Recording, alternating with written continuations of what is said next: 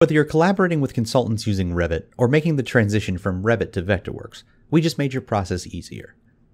Thanks to the latest updates to the Teigha BIM library, Vectorworks users can now batch import Revit families and convert them into Vectorworks objects, making it easy to incorporate building and site manufacture objects in your designs.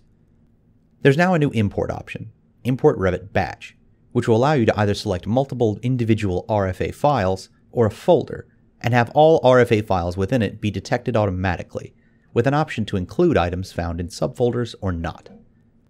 And finally, we've included support for importing the styles of slabs, symbols and walls, and slab modifiers, as these Revit elements correspond to the majority of cases directly to Vectorworks objects. We intend to keep advancing Revit interoperability in the future, and will be keeping up with the functionality included in the Teigha BIM library as promptly as possible.